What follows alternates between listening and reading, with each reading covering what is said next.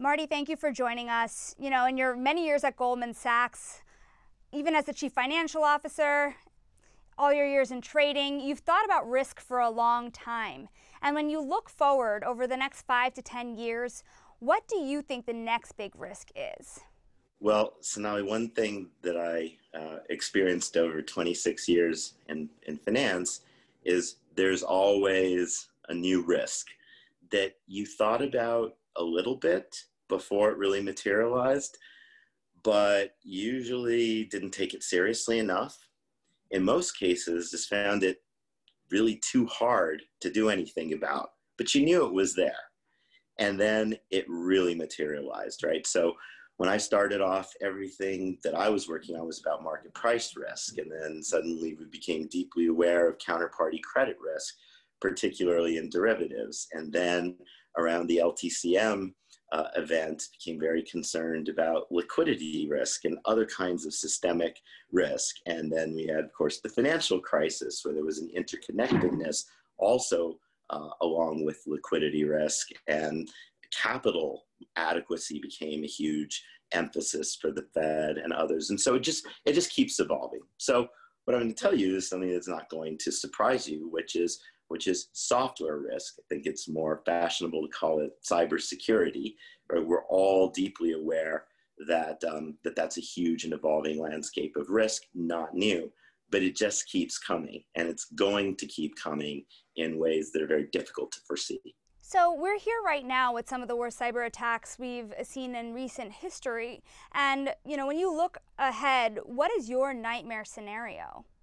Well, um, I think one of the the great things about working on Wall Street is you, you, you're trained to think of all the things uh, that can go wrong and then actually do something to mitigate those risks right now.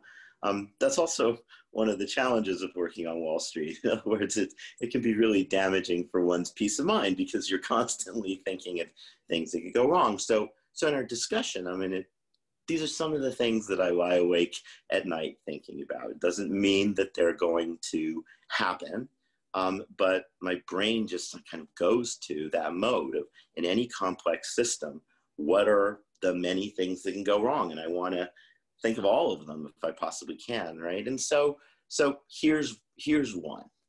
As more and more financial instruments, financial assets become dematerialized right so so think of think of treasury bonds most of us have never really seen a treasury bond. Like who's seen a physical paper certificate for a million dollar treasury? Yet they're traded in million dollar clips every millisecond of every day right? They don't really exist in that paper form. And and generally the dematerialization is a really good thing right? So in Hurricane Sandy, when we found out that some share certificates actually existed as paper certificates in a flooded basement somewhere at a clearinghouse, right? It didn't seem like that was a great way to store share certificates. So dematerialization is a good thing, but as more and more things dematerialize, then it really becomes essentially pure cybersecurity and software risk. And so if you think about things that are really fundamental, like if you were really worried about things that could go wrong, you would think, well, where do all those treasury bills exist? And where do all those dollars exist? And are there central points of failure? In other words, who's recording the beneficial owner of all those treasury bonds? And it's got to be in some computer somewhere. Who owns those computers? How are they backed up? Are they warm, cold, or hot backups? What are the redundancy and resiliency? And so, really, anything relating to the central bank is something that keeps me awake at night you're talking about a coordinated hack on the Federal Reserve, and in this crisis, the Fed um, has proved itself in terms of you know, how central it is to our economy, um, yes. our livelihood, our well-being. And so, you know, what is at stake here, and why is it the Fed in particular that you're so worried about in terms of um, anything kind of toying with what it owns and what it oversees? Well, first of all, I just have to start by saying uh, my hat's off to the Fed, right? In terms of how the Fed approaches risk management and the seriousness of its job and thinking of all the things that can go wrong. Um, capital adequacy for the banks, um, the, the functioning, the smooth functioning of the banks during the pandemic is attributed, of course, to the banks and also especially to the work of the Fed in the capital adequacy framework, CCAR, right? So, so nothing but praise for the Fed. It just is inevitable that if you are the creator of the currency that is the global reserve asset, that's a that's that's a one of a kind responsibility, right? So where do all those dollars exist? I spend time thinking about these things, right? They a, a lot of it exists in paper form, but a lot of those paper bills are actually outside the country, and many of the other dollars exist in the form of balances held by banks with their overseeing Federal Reserve System bank. And treasuries also exist in book entry form, which is electronic software, cyber form, um, again, again managed by the Fed. So it's just this immense uh, responsibility, and, and I know the Fed takes it with the Im- immense seriousness and has incredible people working on it. But it really is the root of the entire global financial system, the movement of dollars and treasuries, right? Now, help a, person, um, you know, somebody who's not well versed in finance understand what's at stake here. If somebody were to kind of get a hold of, you know, the Fed's register, what would happen? Well, so we got a, I think what you have to call a tiny harbinger of that a few years ago. You'll remember, Sonali, the Bank of Bangladesh, the central bank, um, had its SWIFT credentials hacked and money was transferred from its account um, at the Federal Reserve Bank of New York and went into some casinos uh, in the Philippines and Macau, and most of it was never seen again. Uh, apparently, got turned into chips and, and walked out the door. Now, that wasn't a hack of the Federal Reserve's systems super important to uh, to mention that. But it was the hack of the firewall defenses of a customer of the Federal Reserve um, that happened to be the central bank of an independent and sovereign sovereign nation. So that's why I'll call it a tiny, tiny harbinger right? And it was it was well over hundred million dollars. I I don't keep track of all the bank heists that have ever happened, but that's got to be way up there, if not at the at the top of the list, right? So so yesterday to walk into a bank and ask for bags of cash when you can just uh, hack a hack a router and steal Swift credentials and and send real money away. But it does get you to thinking, right? What if some master accounts that had a real lot of money in them were raided? Or what about if the accounts that show who owns which treasury securities were somehow altered in a subtle way that was hard to detect, um, but that eventually led to a systematic mistrust of who owns what, which dollars against which treasuries. That's the kind of scenario that my, my brain goes to. Now, cyber risks in particular is something that financial executives have been warning about for some time. And given it's something that you're so concerned about right now, too, do you think that the industry is adequately prepared for it? Well, Sonali, certainly the industry takes it with extreme seriousness. Um, but it is also uh, just as certain. I mean, this is what's so this is what's so troubling about about cybersecurity risk, right? Any any sufficiently complicated piece of software that is what I'll call Turing equivalent, meaning it can compute anything that can be computed, is also hackable. The two things the two things go together, right? It's the reason we have viruses in life and we have viruses in in computers. There's nothing that you can do to say that a system is uh, is free of the possibility of being hacked. And so you can never rest on your accomplishments. And no matter how good a job you're doing, you should always be very worried.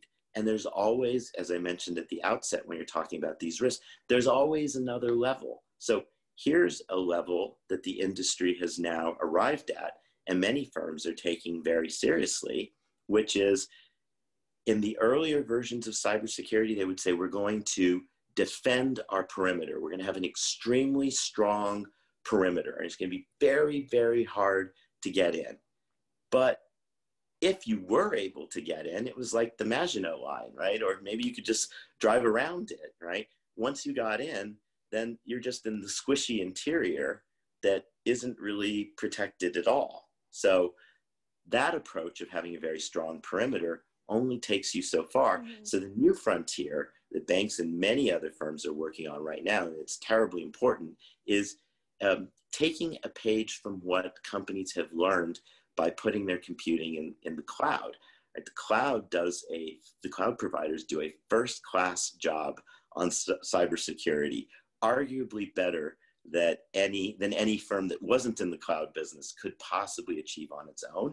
And one of the things you do when you put your business and your data on the cloud is you assume that all those computers are hostile and could potentially have been suborned or their, their, the data is being leaked. And so here's what you do, Sonali. You then assume that all of your own computers are potentially hostile. You no longer assume that there's a safe perimeter of trust of your own computers. You assume they're hostile too. You're, you're leaning on another topic here that I know is very important to you. You've told me that you're more concerned about non financial companies than you are about financial companies. Um, and so, what is that concern? On one hand, I hear this great sense of trust in some of the tech companies, especially as it pertains to the cloud. But on the other hand, there are real risks as these firms get a lot bigger. Well, so in in that spirit that there's there's always risks and we can never we can never rest comfortably. Sure, I do I do have concerns, right? So let's say that during the pandemic, I like so many others um, found great comfort when I saw the the, the delivery truck um, go up the go up the road. Right, that was that was the lifeline to everything. Right, and and and similarly, I have a, a high speed connection to the internet. That is also the lifeline. Right, if if those things go, then we got a real problem. So it certainly got me to thinking about supply chains generally and resiliency. And certainly there's been a lot of discussion of this. Um, and so I'm thinking a lot about what the Federal Reserve created for and with the banks that led to the resiliency that the banks demonstrated during the pandemic. Well, it's requiring the banks to have reserves of capital and reserves of liquidity more than would be optimal if you were planning for everything to work perfectly. Similarly, non financial companies have evolved just in time supply chains. Everything is priced to perfection. We don't want to make or store too many cotton swabs or Pyrex glass pieces because that's just inventory and that's bad for returns to tie up capital and inventory. So let's just make all the supply chains timed perfectly. That's risky.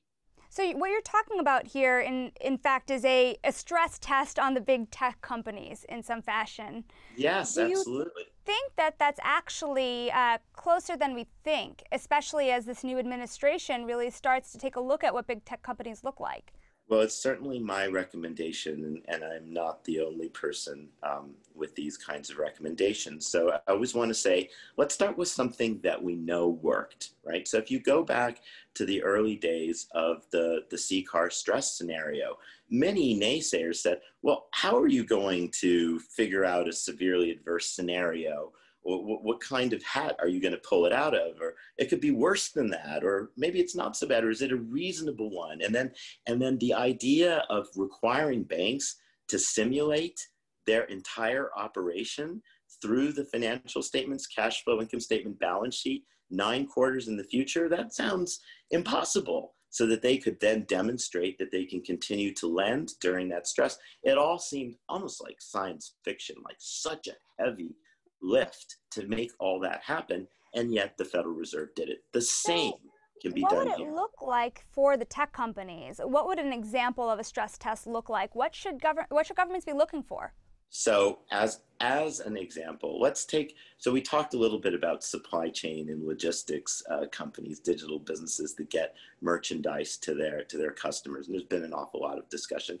Let's go to a, a different example of a, of a social media business, right? So there, if you look at the core, the core business model, the core business model has some challenges that remind me of the pre-regulated banks business model challenges, right? So, and and it's nothing particular to these companies. It is just in the nature of untrammeled, unrestricted profit maximization.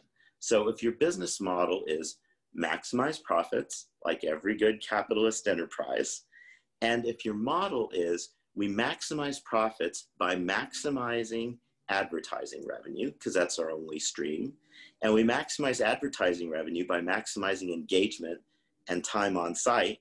And we maximize engagement and time on site by maximizing emotional resonance, particularly outrage, by confirming biases. I mean, as we've seen, this has led to all kinds of consequences that really are classic externalities, right? They're, they're, they're, it's, it's no different in principle from a company that's making some chemical product and just flushing its waste into a river. For the so, company, it's optimal. So, is that you saying that uh, you're more concerned about the Facebooks and Twitters of the world than you are about um, the Amazons of the world, just by nature of what they do? I think Sonali, I'm, uh, it's my nature to just be concerned about everything and, and everybody. And, and it's really a classic concern of antitrust regulation, right? What are anti competitive behaviors that happen when a company has been wildly successful? And what happens when you have completely unrestrained profit maximization? So now the banks have been restrained by having capital and liquidity requirements. It's sensible. And the whole idea of the banking regulation is so that in a negative event, the banks still have collectively sufficient capital to capitalize themselves. They don't have to go to the taxpayer for more capital. I think the same principle applies to all the tech companies. It happens with every industry, going back to automobiles, oil, telecoms, you name it. The industry becomes sufficiently powerful and it's doing what capitalist enterprise is supposed to do maximize profits. And then the government has to step in and tie those profits to externalities. Well, here's a question for you then. You know, you, I know you're a believer in technology fundamentally, but do you do you think though that uh, the types of technology we are creating are no longer doing a service to society? So, Sonali, they're they're doing a service to society. I'm I'm 100% confident in that. Just as the banks have always been doing a service to society. The question is the unintended systemic side effects. And you know, as we now have with the banks, we require the banks to have extra capital and liquidity for that rainy day so that the banks can look after themselves, don't need to go to society uh, to, to, to, to pay for it. The same thing needs to happen with big tech. It has reached a level of such success and such concentration and such inequality, right? It's a, it's a power law, unbelievable wealth created. And so these companies have the wealth. Let's hold them accountable for the systemic side effects on society. So if there is an epidemic of low self esteem or inequality or fiction being propagated on social media, leading to behaviors in real life, those are all negative consequences for society. I'm not going to opine on whether those negative consequences out, outweigh the benefits so that they're net negative. All I'm saying is that these companies need to capitalize themselves for these negative side effects, and that right. simulation framework is a way to get at it. Well, that simulation framework, you know, in the bank, and when we're talking about the banks, we're talking about money. We're talking about something that's countable. But when we're talking about technology companies, you're talking about a societal impact. You're talking about self-esteem. You're talking about misinformation, and you're talking about um, you're talking about other societal inequality. What should regulators be looking at to monitor for in this stress test of the big tech firms? Yeah, so this is this is why we're it's so hard, Sonali. We're at that same juncture that we were at a few years ago, maybe roughly 10 years ago, when it seemed nearly impossible to quantify a severely adverse scenario, right? To even come up with a severely adverse scenario connecting unemployment and inflation and the stock market level and commercial activity. Like, how, how can you even do that? That nobody really had a great idea for how to do that in some principled, systematic way. And then, even once you have that, how were you going to get banks to measure things like interconnectedness? Right? That was a really hard one. We, we all had a sense that there was something that happened when banks got really interconnected with one another.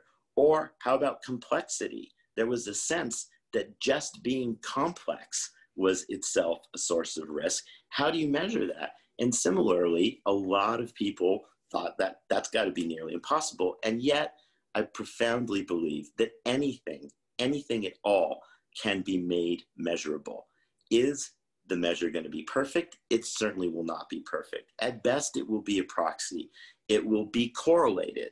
We'll discover in another crisis that it wasn't such a good measure after all, but it's something. You can't just throw up your hands and say it's too hard to measure. So, can you be clear then also about the social inequalities that you're most worried about as these big tech firms have gained so much power? Well, so I think it is just in the nature of, of anything digital um, that uh, the, the distribution of outcomes is not the, the bell curve distribution, the Gaussian distribution, like, say, height and weight in a population of human beings, right? There's a median and there's a standard deviation. Unfortunately, in digital businesses, um, there's a network effect, and it really is winner take all. I think this has always been in the nature of capitalism. That's why we've had antitrust legislation for oil and telecoms and so on. That's why we've had food and drug regulation for a long time. I am concerned that as these businesses become pure software, as they become themselves artificial intelligences that are guiding and directing our behavior and our thoughts, that these inequalities, these power law distributions of outcomes are only going to become graver. And, and so I think you just accept that that's the reality that these riches are going to be increasingly more complicated. And then there I would just say, that's fine. But because there are these riches, we can't have the companies generate these riches and then say to society, oh, there were some unfortunate side effects. We had all the benefits. The rest of the world had all the, the negative side effects. The companies themselves have to capitalize for those negative outcomes. It is doable. So, one more real question for you, Marty, that's tying this back to the first thing you said. You had been speaking about uh, uh, concerns about the financial system and decentralization and what happens. Um, when things are not physical anymore, when they are in the cloud or some other place. That's happening with currency very quickly as we speak. So, you know, when you think about how currencies across the world are becoming decentralized, how are you concerned about Bitcoin and other countries that are creating their own currencies? Wow, that's, that's such a good question. Let me see if I can come up with a, a concise answer. Um, uh, that that question deserves. So, years ago, I remember one of my favorite venture capitalists introduced me to the CEOs of several of his Bitcoin companies. They were doing things in Bitcoin. And one of them was, uh, I was talking to him and I said, and this is 10 years ago, almost as an offhand remark, I'm highly confident that the Federal Reserve will complete the digital journey of the dollar. And one day the dollar will become completely dematerialized. It's mostly dematerialized. It'll just go all the way and the dollar will become a digital asset. Or if you want to call it a cryptocurrency, you could call it that. And uh, the person I was talking to said, that will never happen. And I said, well, I've been trained the hard way, never say never. And can you tell me why that will never happen? And he said, it will never happen because no engineer who's any good would ever help the Federal Reserve do that. And I tell that story because it, it indicates another kind of polarization, which I think is going away and getting better, which I would call maybe a Wall Street, Silicon Valley polarization, where neither side deeply understands what the other side is up to. Well, I'm happy to say that there's an awful lot of crossing over between those, those two worlds. But yes, I can, I, am not privy to the inner debates of the Federal Reserve, but I can tell you that across the world, central banks are having this debate. And we know it because they're writing about it, they're publishing papers. There are some uh, countries whose central banks are deeply concerned that they're going to lose control of monetary policy because their currency might simply be replaced with some other digital alternative that had less friction. And so, if you think about the ultimate currency, which is the dollar, here's one thing I will say. Um, while I'm fascinated by the technical underpinnings of Bitcoin and all the cyber the, the, the cryptocurrencies. You got to remember what is currency, right? And what is legal tender? And fundamentally, it's an intersubjective reality. It's something we all agree has reality, and it has reality because we all agree it has reality. It's got a social political reality. And that social political reality is not going away. At the same time, for the dollar to remain competitive as the global reserve currency. And it, it depends on so many things. It depends on economic well being, it depends on social policy, domestic policy, trade policy, foreign policy, lots and other, other things. I will also submit to you, it depends on the format. And if you have another currency that is in a purely digital format that's programmable, that currency is going to evolve faster and it's going to be able to do more things. And that is an important feature of a currency as well. So, where I see this all going is in a new ecosystem that's going to have multiple digital assets, and some of them will have more the flavor of commodities, some will have more the flavor of currency, some will be used for portfolio diversification, some will be used for payments, and there I would expect is going to be a vigorous competition internationally for the digital currency that has the right properties of anonymity traded off against know your client and anti-money laundering that lets the central bank set the levers of monetary policy that is consistent with a country's trade policy and is purely digital. That is going to happen